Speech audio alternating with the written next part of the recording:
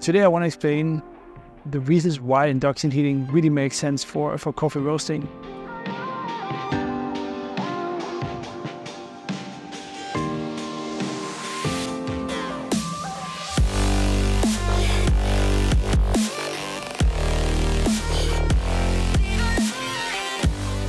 First of all, let's define what is induction heating. So it's when you take an electrical conductor and you subject it to an alternating magnetic field. So if you think back to your classes in physics in school, typically they would demonstrate a transformer and how that works. So a transformer is basically two coils. You have a primary side and a secondary side. And you by alternating the current, you create a magnetic field in one, which is then coupled to the other one. And depending on how many windings you have on each, you can then change the voltage to higher or lower. So induction heating is basically the primary coil where you apply an alternating current, and the secondary coil is your drum. And since it's not a coil, it's just one big piece of metal, so it's like a short circuit on the secondary side, which means you're generating a lot of heat. So it's very basic.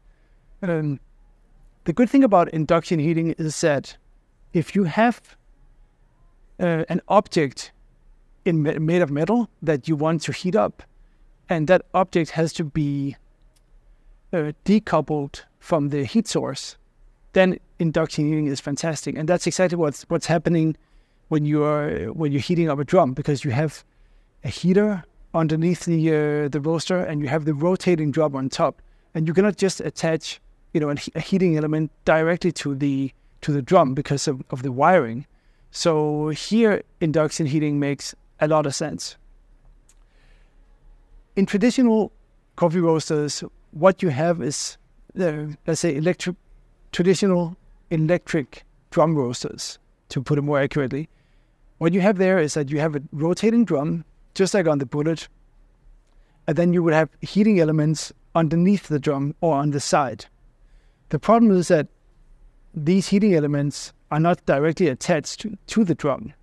So what happens is that to heat up the drum, first you have to superheat the air uh, around the heating element and between the drum. Uh, and this superheated air then heats up the drum slowly. But as you probably know, air is a great insulator. So there's a big lag from, let's say, when you want to crank up uh, the power on your roaster till when you actually see something happening in the in the drum temperature.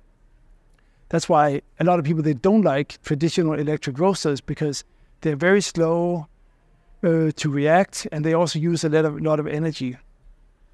Induction heating, on the other hand, is pretty fantastic when it comes to roasting because your drum acts as your heating element. Okay, so you're basically roasting inside your heating element, and when you when you choose to apply more heat by changing the, the frequency of the coil, it's immediate in the drum. So that's that's why we believe that uh, if you're not using gas, gas is also great because you know you change the flame and, and you get more power pretty quickly. But if you're not using gas uh, for a lot of reasons, induction heating is um, is very good because it's very quick and it, it's directly coupled to the to the drum, which means you're using a lot less electricity.